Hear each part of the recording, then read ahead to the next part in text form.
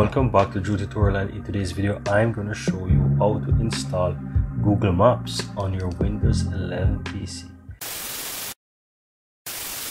So in order to do this just simply open up your Chrome browser and you want to go to google.com right ensure that you're signed in as well.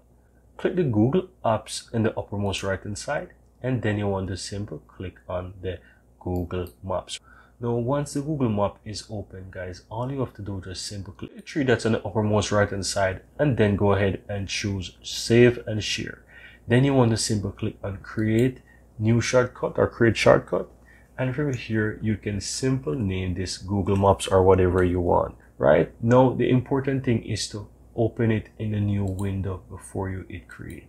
Now once you do that guys, as you can see the application is now installed. So now you can see that I have the Google Maps application. And to prove to you that it's an application, you can simply click three dots again and you will find the option to uninstall the Google Maps. If you close it guys, try to search for it on your computer by typing Google Maps. You will find it as an application that you can simply open and use.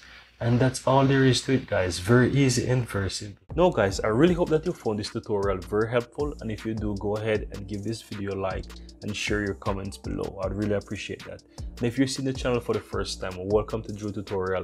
I'm Anjo and I really appreciate if you hit the subscribe button below to help grow this community and also so that you'll never miss out when I release another helpful tutorial just like this one. Thank you very much and see you next time.